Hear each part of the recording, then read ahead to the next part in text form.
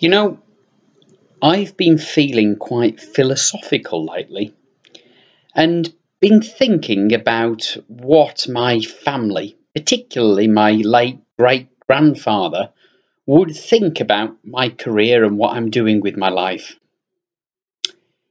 For all of his life, he was involved in the kebab business.